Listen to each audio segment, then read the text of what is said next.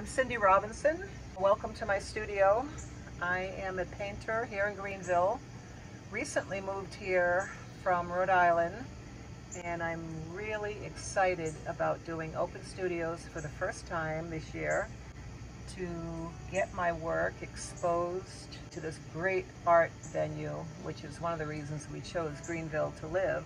Come on inside and I'll show you around a little bit.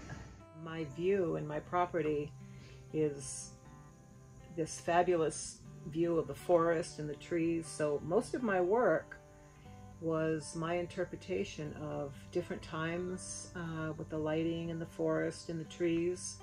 And I concentrated on that for a good portion of my time here at the studio.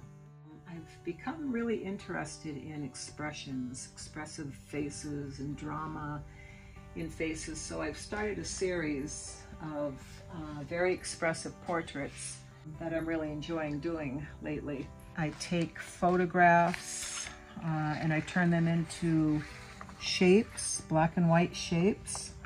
And, and then I just sort of start forming uh, colors and abstractions of the faces that I'm, that I'm doing.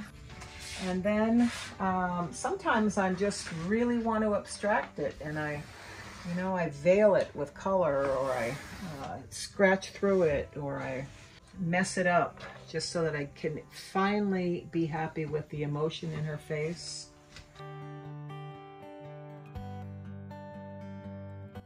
Thanks for watching and hope to see everybody again for my first time with Open Studios in November you can contact me or look me up on Instagram at Art by Cindy Robinson. Bye-bye.